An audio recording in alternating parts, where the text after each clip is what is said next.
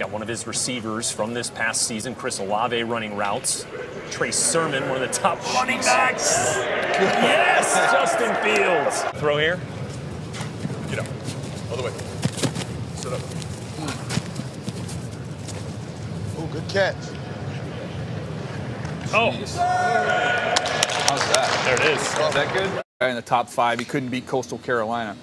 First of all, Steve mentioned, oh my goodness, that is just a silly throw. North Dakota State University does on the football field, it seems, is win and often win national championships. Here we go, a long one. Oh my. That's his my! best throw of the day, Ken. I'll get it back.